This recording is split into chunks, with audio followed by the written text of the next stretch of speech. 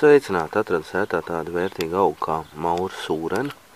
Tādu viņa izstās, viņa aug no rozets. Viens saknens un no visām pusēm zariņa līdz pat kaut kādi 60 cm. Šī ir ļoti vērtīga zālīta. Viņa izmanto arī, lai šķidrinātu nierakmeņus un arī akmeņus urīnu pūslī. Citu viņi iesaka žultspušuļu akmeņu šķīdināšanai kā vienu no komponentiem. Satura silīciju, kas ir vērtīgs teiksim, veselībai.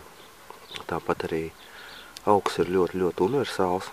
No seniem laikiem viņi izmanto krieviem, viņš saucās strāfka muravka. Šis augs tiešām ir vērtīgs.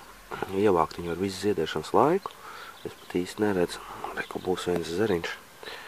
Tā, lai viņi var redzēt.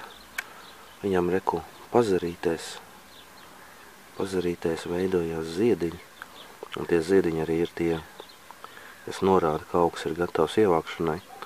Ievākt viņu ir samērā ilgs process, bet tiešām ir tā vērts palīdzēs gan kuņu darbībai, gan zarnu darbībai, gan iztīrīs nieres, lai viņas labāk varētu strādāt un no organisma izvadīs dažādas sāļus un jonus un palīdzēs strādāt labāk visam organismam. Izmanto viņu arī elpceļu slimību ārstēšanai, bet jau retāk. Šis ir no tās sērijas augs, kurš ārstē 77 slimības. Tāpēc šādu augu varat ievākt pilnīgi droši.